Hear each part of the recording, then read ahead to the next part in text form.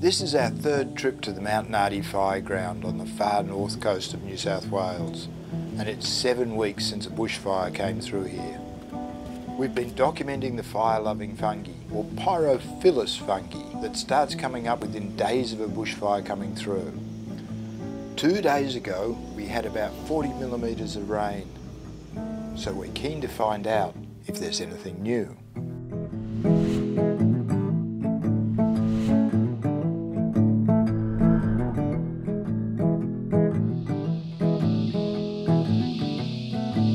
Seven weeks after the fire, and there are signs that the forest is starting to repair itself. With new growth, insects in the soil, the cicadas are almost deafening. Well, there's something here, and there's some different looking fungi starting to appear. Looks as though it might be tiny little cups. They're concave dishes, sort of like a satellite dish and they're a particular type of mushroom called ascomycetes. And instead of dropping spores from the bottom of the mushroom, the spores come from the cup.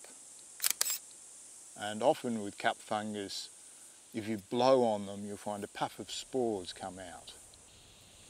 Catherine videoed this one in China last year. You can see the spores being ejected from the top of the cup. And I've photographed a huge variety of these all over the world.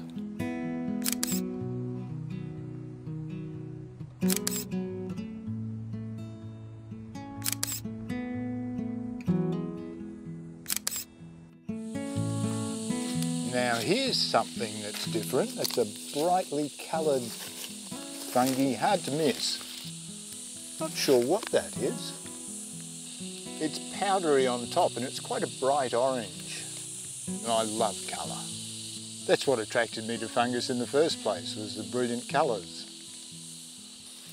I'll try and get some good photographs of it and then maybe we'll be able to find someone who can identify it for us.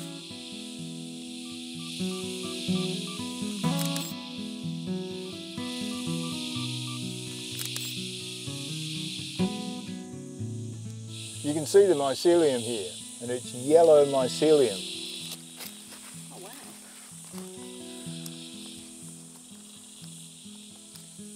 So this fungus is actually just growing directly from mycelium, as you can see, heavily entangled with roots. Perhaps it's a ectomycorrhizal fungi.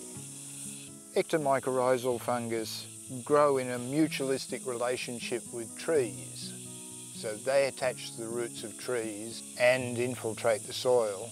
So get nutrients and water from the soil which they provide to the tree and the tree provides the fungus with sugars. Now this has obviously grown in the time since the fire because all of this top layer of soil would have been sterilised that's clearly not sterilised, is it? I come to these forests all the time and now we've got fire and there's a complete new range of fungus that come up, ones that I've never seen before and will possibly never see again unless there's fire.